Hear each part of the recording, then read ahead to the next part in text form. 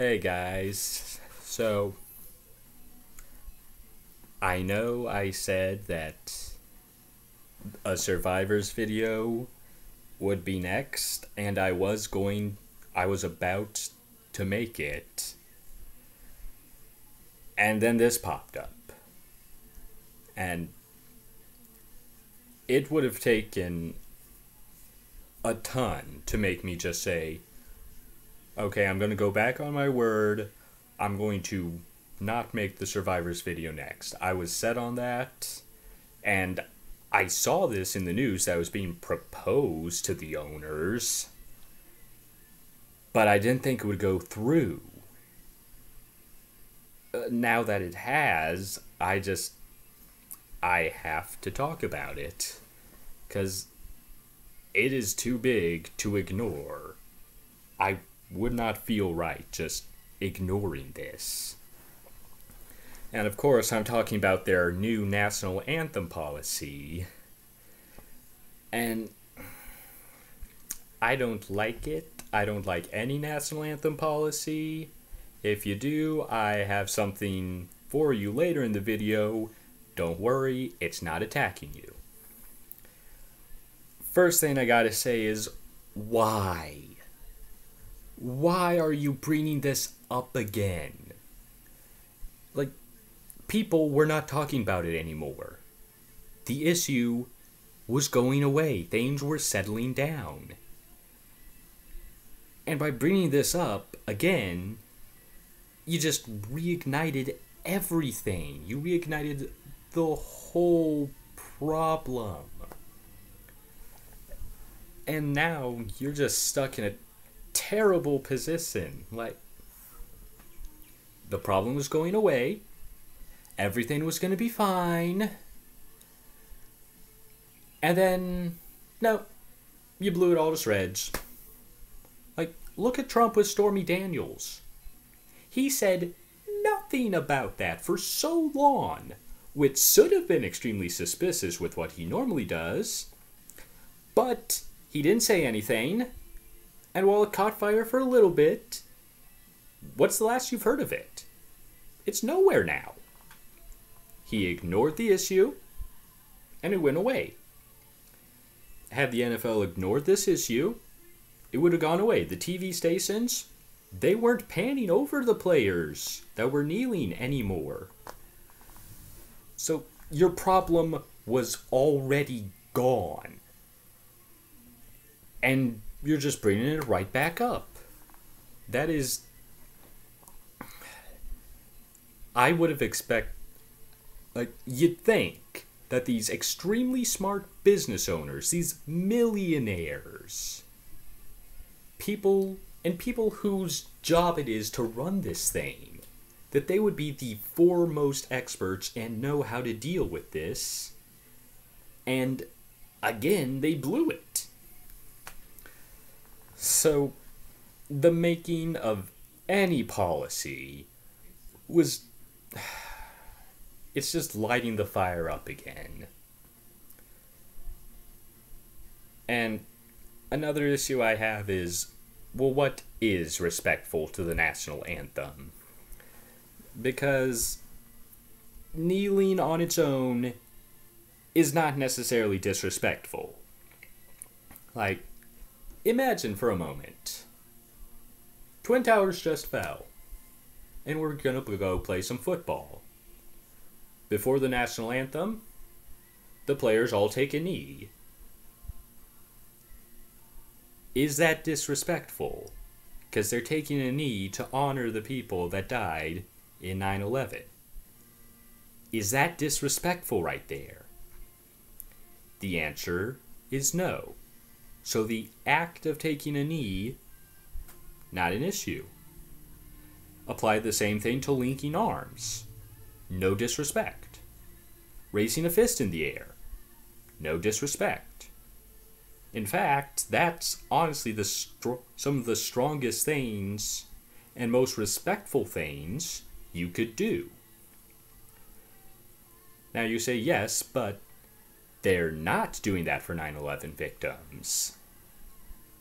Well, they are doing it for someone. they're doing it for the people that they believe have been wrongfully killed. And maybe they were, maybe they weren't. Some had drugs in their systems, some didn't. But they believe that those people were innocent in the same way that we believe the people of 9 11 were innocent. Like, for all we know, that was a plane full of convicted murderers and child rapists. For all they know, their guys could be murderers and child rapists. But for all we know, their guys could be saints. So we have no clue. Now, obvious, so if that's the case, we just use the presumption of innocence, like we're supposed to, and assume that these were innocent people who died. And that's the same kind of thing that they're doing. Not to mention, they have a historical precedent. There undoubtedly is police brutality going on in America. Now, it's probably much, much less. Well, it's definitely much less than it was in the past. Lord knows the civil rights era and Jim Crow era were just god awful for those people. But to say that it's all gone, that it's a non issue, is pretty foolish because, trust me, those people that would enact Jim Crow laws, there are some still around, and undoubtedly, there are some issues with the police force. Some, not a ton. And the NFL just has no grounds for saying, hey, you need to be patriotic. Cause they're not they're not playing that anthem because they're patriotic. No, no, the NFL is not doing this out of the goodness of their heart. You see, back a couple years ago, the US government approached the NFL saying, hey, you get your players out for the national anthem, you have these extravagant setups, and you play that national anthem so that the whole world can hear it, we'll pay you a couple million bucks. So the NFL, it's not doing that stuff because it loves the country, because it wasn't doing that before. It's doing that stuff because it's getting paid to do that stuff. So they have absolutely no grounds to tell the players how they want this stuff to get done.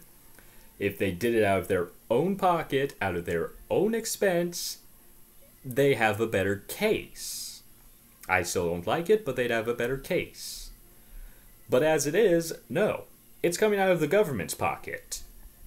And the government runs under the Constitution, which would allow this. Now, does the government actually govern the national anthem because it paid for it? Or does the NFL do that?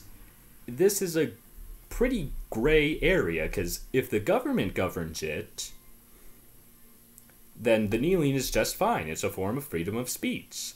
If the NFL governs it, then they govern it and they technically have the right to limit them. They don't have to enforce freedom of speech.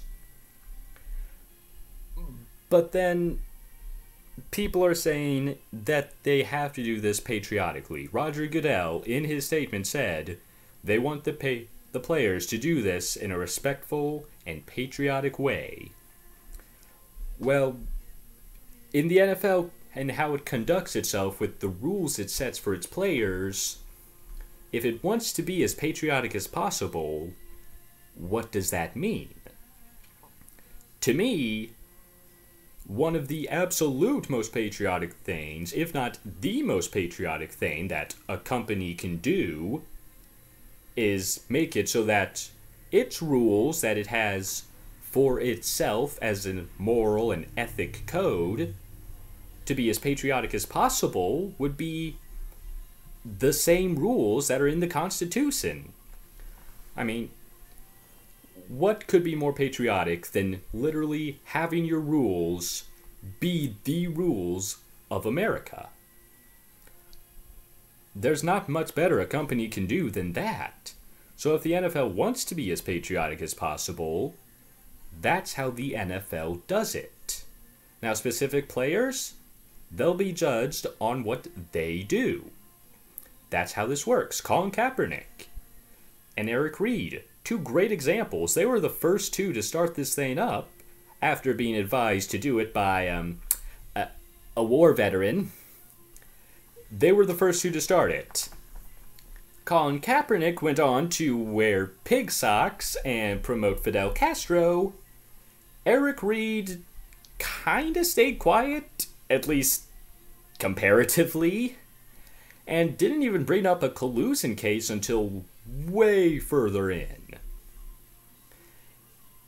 And those two different people have been judged in two different ways. Colin Kaepernick, huge media circus around him, not that much talent. As a result of that, and the fact that he's kind of a jerk, that's what's kept him out of a job, and that's what kept people from liking him. Eric Reid, much more highly viewed. He's being viewed off of his merits. And if the NFL does that, it'll create a separation between itself and its players so that backlash over this isn't that bad. And it would have accomplished that by um, letting things progress naturally and not saying anything. Now, another thing I have to talk about is just, well, one of the things I've heard people saying is that these NFL players are representing the NFL, and while they're at their games, while they're playing that national anthem, they represent the NFL and its rules. But I gotta ask is that how the NFL works? When it comes to fines and suspensions, is that how the NFL does things? And is that even how we view the players anyway? Because, well, let's let's make a little example here. Um, Peyton Manning. He's not playing anymore. He's not under the NFL's jurisdiction anymore. But when you think Peyton Manning, you think football. Occasionally pizza, but mostly football.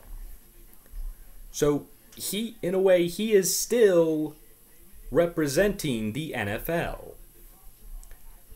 But he's not under the jurisdiction of their rules. But if he's representing the NFL still, just by existing and being who he is, wouldn't that be under the jurisdiction of the NFL? And if you want a case of where the player is still in the NFL, think of Ezekiel Elliott, and I think it was Jim Rice. It was whoever that play Ravens player was who beat his wife. He was suspended from the NFL for a few games, then I think banned. Now, he didn't do that at the game. He didn't beat his wife senseless at a game. He did that off field. So, if the NFL players represent the NFL at the games, but have the freedom to say whatever they want outside of it, like a lot of people who are against the national anthem protest suggest, why is the NFL even doing anything? about I, the Ravens player. Because the law is going to get him. He's going to get his punishment. He's going to do his time. He's going to pay his dues. And then that'll be that. The law will say, okay, you paid up. You did what we wanted you to. You're free. No more prejudices. Done. And it says that because in our Constitution, it kind of says that you cannot be punished, or I think charged is what they say, but that leads to punishment, twice for the same crime. And they have that in place for a very good reason. Now, as I said before, if the NFL wants to be as patriotic as possible, shouldn't they abide by that? Shouldn't they just see what the law says about this and say, yes, we trust you. We think that you do a good job, and therefore we think you did a good job. This came most strongly in the Ezekiel Elliott case. Like, a former girlfriend claimed that he beat her. The police decided there was nothing to investigate, that it was mostly made up, and looking at the tweets, I'd have to agree, but that's a story for another day. Well, what the NFL did is they investigated anyway, ignoring what the police said because apparently they don't trust the police, which not very patriotic. And not only did they have to launch their own investigation in spite of what the police told them, this was something that happened before he was even drafted, before he was even in the NFL. I mean, do they actually have the right to punish you for something you did before you even went there? Well, yeah. If you even did it before you went there, do they have the right to punish you? Let alone if you maybe did, maybe didn't. The NFL says it does, and that just seems wrong to begin with. But what made it even worse is the NFL decided that Elliott was guilty of beating his girlfriend, which completely goes against what the police report says. And from there, that leaves us two really crappy options. The first is the NFL didn't actually find anything and just wanted to make an example of this guy and so convicted an innocent person on purpose. Like, that is bad. That is really bad. That's about as unconstitutional and unpatriotic as you can get.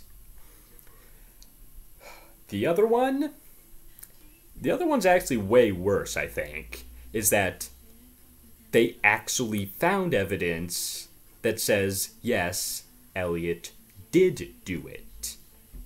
And why is that worse? Well, for one, then a girlfriend actually got beat. For two, they found that evidence and did not bring it to the attention of the police that they found the evidence. And remember, Elliott wasn't charged. There was no investigation. There was no jury. So if new information is brought to them, like the NFL apparently got, then they have to open up that case, investigate again, charge him, and put him in front of a jury. That didn't happen. So the NFL, if it's right, if it actually found evidence, is hiding said evidence from the police. Which I'm going to say is not a very patriotic thing to do. So, why, in either case, why the NFL is telling players they need to be more patriotic is beyond me because it has no room to talk. Like, if it was fine, if it was patriotic, then it has room to talk, then it is holier than thou.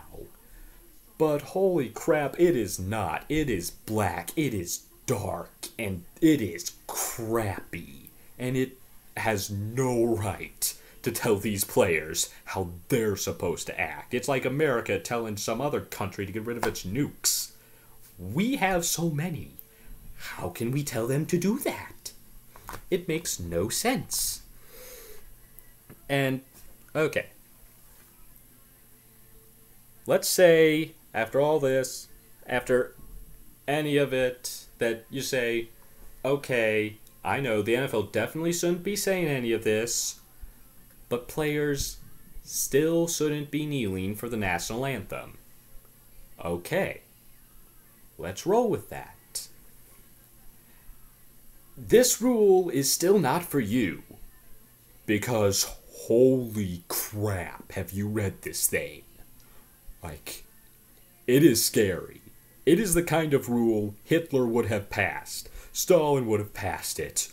All the bad guys want to pass this rule because it is so vague. Like, it says you have to stand for the national anthem and you cannot show disrespect for the flag.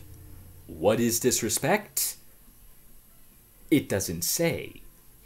And because it doesn't say, it's up to the commissioner to decide when disrespect has been committed. And he doesn't have to explain his reasoning.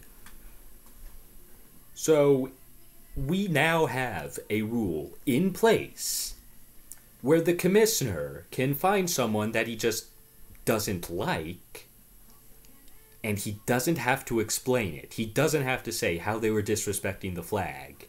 He can just say that they were. And no one will bat an eye. I, I do not like Goodell. Most people do not like Goodell. This rule, this rule on its own, is terrible because it gives him the kind of power that. Uh, all the bad guys in all the movies want to have. It is just insane what he can do with this now. Like, do you like Ben Roethlisberger? Goodell doesn't. Goodbye, Ben. You're out. And it is that vague. You read it, there is no defining anything. And in law, in actual law, we are supremely careful with how we craft the wording of things. Like, my law teacher actually told me about a meeting she was in, spectating on, I think, where this group of seven people dedicated to writing out laws that will be enacted or finding better wording for ones that are already there spent four hours on one word, trying to figure out what it should be because all these different variations would create vastly different results. That is how careful you have to be when crafting a law or a rule. And the NFL left this so vague that it can so easily be abused by someone that's in power like, Goodell was called a dictator before. This, this allows him to be now. He doesn't have to be questioned about anything. It is so vague. It is just painful to see this. Like, whether you want this ban on kneeling or not, this is this is not the rule you want. And I hope that at the very least it gets heavily edited. And good God. I think it goes without saying that a dictator isn't exactly the most patriotic thing.